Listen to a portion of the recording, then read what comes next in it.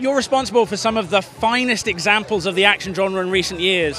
What for you is the essence of good action, and how does Bullet Train emphasize that? Um, the essence of good action is uh, character, and I think um, you have to define the character in the action and make sure that you're learning in sequence to sequence and um, you know having them arc in those moments. I think this is a perfect example. Like every one of these um, characters not only has a different style of fighting that defines who they are, but um, is dealing with different emotional um, journeys and um, stakes driven journeys that are punctuated with the action. So um, without that, action is meaningless, really.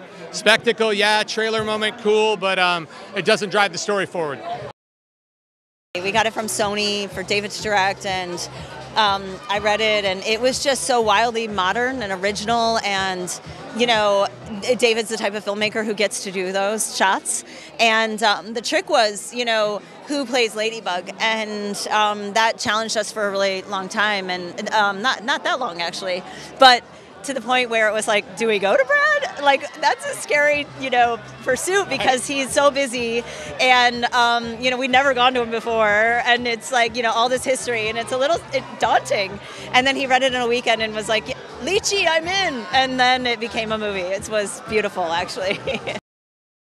David brought it to the next level. He brought a lot of pathos, a lot of heart. He wanted to make sure that you connected to every character along the way in an emotional way.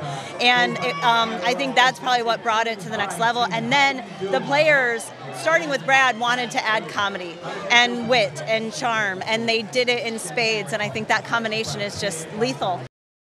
You know, their performances helped elevate it. You know, you've have to, um, in these movies that have such broad comedy, you still have to find those moments of pathos.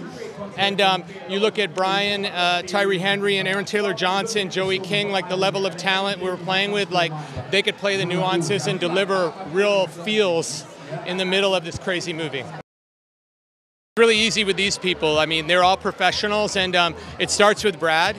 He's such a giving actor. Um, I think it's um, always been a, a, giving actor, but you know his years in the business and um, working with the best, he knows he's got to support the younger talent and and um, and lead from from example. And um, he's so giving. And he so sets it. David as a director. He fosters a really warm environment that uh, you know best idea wins, and I think that allows them all to play in a way that you know kind of becomes a bit of magic.